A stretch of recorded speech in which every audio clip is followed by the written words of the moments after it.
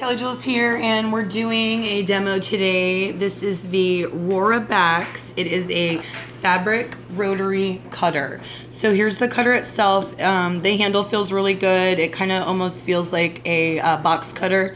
If you guys are familiar, it has a um, thumb engaged trigger to pull the blade back when you're not using it or extend it for when you are.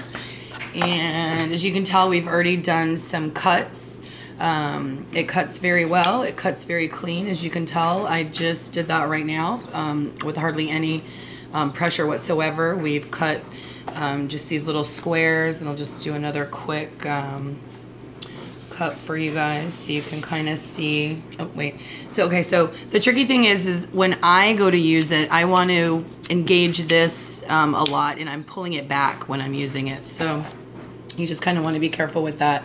Um, it does want to go and then but look at that's you know slices like butter.